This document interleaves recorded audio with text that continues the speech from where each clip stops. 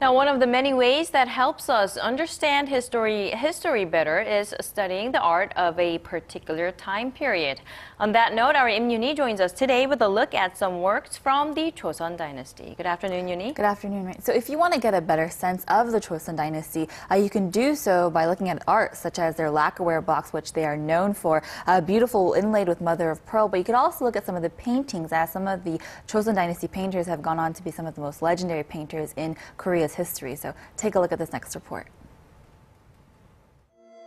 One of the most precious treasures from the Joseon dynasty, lacquerware inlaid with mother of pearl. The shimmering works of art were most commonly made during the Goryeo and Joseon dynasties, and few authentic relics remain in Korea.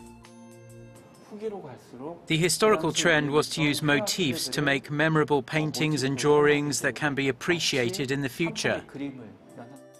The Horim Museum has recently gathered a collection of 90 pieces of Joseon Dynasty lacquerware, and now they're on display for the people of Korea to enjoy.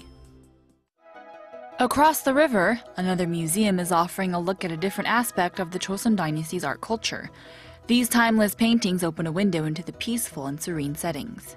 Works by legendary artists such as Kim Hong-do and Jeong Sun pave the way for modern and contemporary painters such as Cheongjeon Lee Sang-bom and Sojeong Byeon Kwon-sik.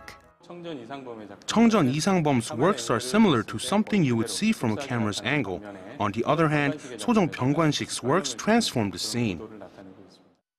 30 masterpiece paintings, done by artists of different styles and from different periods in time, come together for this unique look into Korea's historical paintings.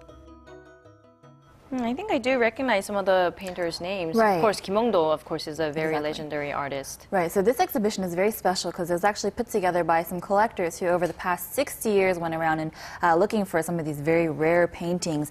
Uh, now, a lot of these artists are very familiar to Korea and to the Korean people as they are some of the most legendary artists um, in Asia, in fact, and they are really com- considered uh, some of the top artists there. Right. And speaking of uh, lacquer box, I mean, last year wasn't there news about the Goryeo Dynasty lacquer box being returned Right. from uh, Japan to Korea? Right, so big news on the art front. So that particular lacquer box was considered only one of eight to still be known to uh, be in existence right now. But with the other Joseon Dynasty lacquer boxes, now these are very special as well. They're inlaid with things like abalone, mother of pearl, even uh, ox bone sheets. And so some very interesting works there. And you can see this at the exhibition. They really do lay out a series of different, you can see the boxes, you can see the little fans and all the different uh, uh, types of tools and uh, household furniture that they put uh, the lacquerware into. Um, I think people are mostly aware of mother and used to mother of pearl, Right, pearl, but right.